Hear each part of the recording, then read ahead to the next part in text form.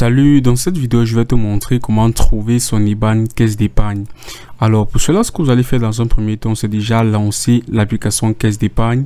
Et ensuite, ce que vous allez faire, c'est vous authentifier et vous allez suivre ces différentes étapes. La première chose que vous allez faire maintenant, c'est cliquer sur l'option compte qui va se trouver dans la barre de navigation horizontale.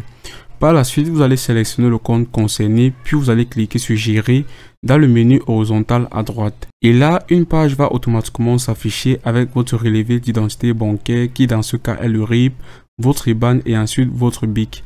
Tout ce que vous allez pouvoir faire maintenant, c'est pouvoir télécharger cela en appuyant sur le bouton télécharger.